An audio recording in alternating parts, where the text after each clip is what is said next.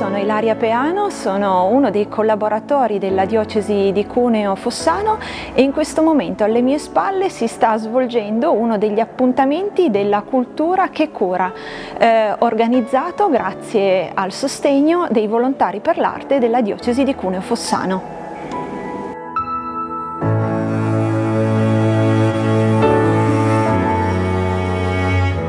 Cinque attività eh, che abbiamo svolto eh, sono state realizzate grazie al contributo della Fondazione Cassa di Risparmio di Torino e sostenute dalla Consulta eh, del Piemonte e della Valle d'Aosta.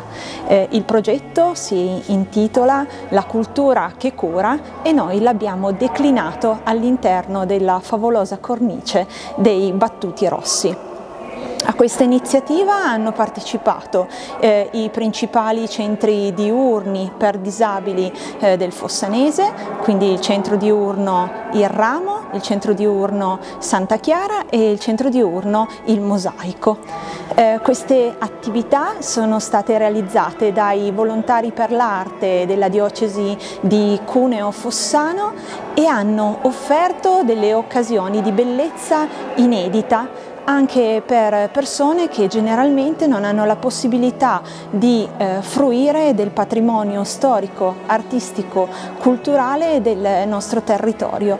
L'obiettivo di questo progetto era creare inclusione e accessibilità di tutti questi nostri beni che ancora oggi raccontano una loro storia.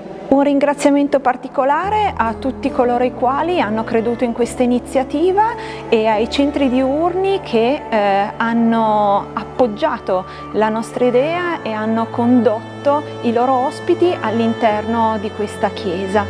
Eh, un ringraziamento sentito va anche alla dottoressa Monica Mazzucco, eh, grazie alla cui preziosa collaborazione è stato realizzato questo progetto.